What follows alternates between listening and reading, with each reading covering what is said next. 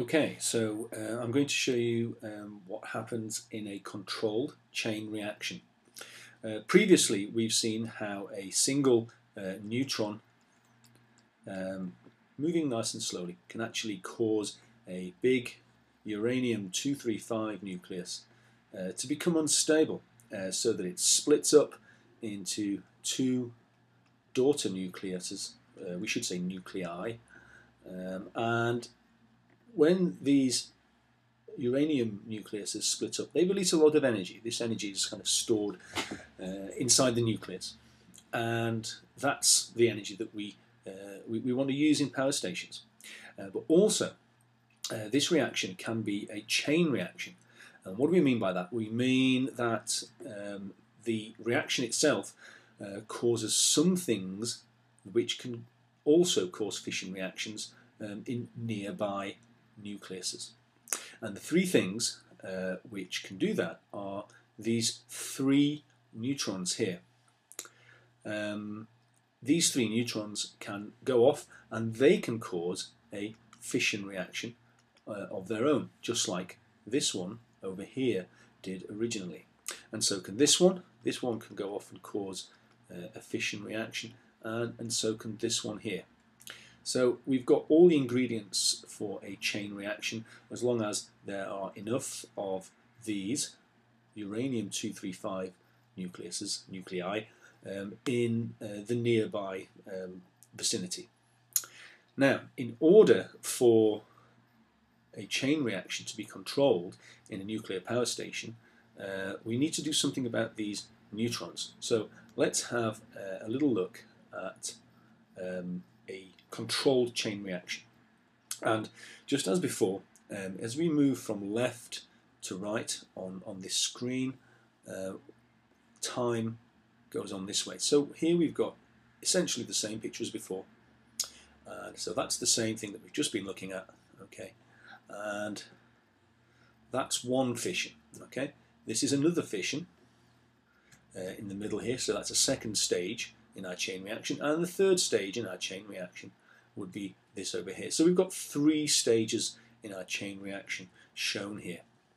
And what I want to show you is basically what you have to do if you want to make sure that uh, a chain reaction doesn't get out of control and uh, we release the energy a little bit at a time in a way that's useful to us and we don't make a huge explosion where all of the nuclei um, which are able to undergo fission um, suddenly do it all at once. And it's remarkably simple. What we have to focus in on, okay, is what happens after things have split up. And after this split, we've got to take care of one, two, three nucleuses. Now we want the chain reaction to continue, so we actually want one of these to go on and cause the next fission reaction here.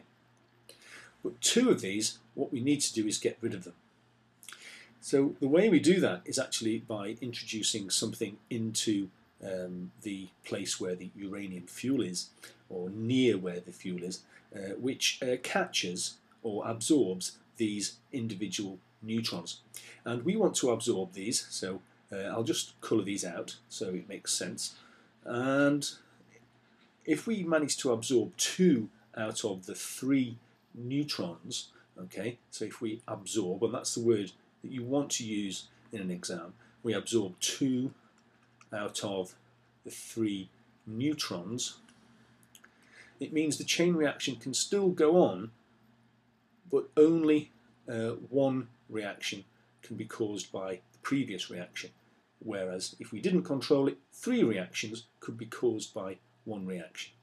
And that's essentially what we do we simply absorb two out of three of these uh, neutrons at each stage. So we want to get rid of that one and, and that one. And this is what is meant when we use the word controlling a chain reaction. And that's all it means. Now, how this actually happens um, in, in nature, um, well, well, it doesn't really happen very much in nature, um, but in nuclear power stations, how it happens is we actually uh, introduce a single, uh, I, I, I, guess you'd call it sort of a, a sort of control rod. Okay, and these are the things which we have inside where the fuel is in a nuclear power station, and and they basically act like a, a huge sort of uh, which is supposed to be a hand, uh, huge hand, and they catch the individual proton uh, neutrons as they come out of the fission reaction, and that's how uh, we absorb the extra neutrons, which if we didn't would lead to an uncontrolled chain reaction. But of course, if we are catching them, uh, like we are here, then they are absorbed and uh, it's a controlled reaction. And this has a, great benefit because it basically means that the uh, uranium uh, 235 fuel that we're using, uh, it lasts uh, for many years rather than going off in a fraction of a second. Okay, and it also means we get a steady uh, release of energy rather than all of the energy coming out in a fraction of a second and being an almighty explosion. Um, and so these are the reasons uh, why we have to control this chain reaction if we want to get a steady release of energy for our power stations, which lasts years.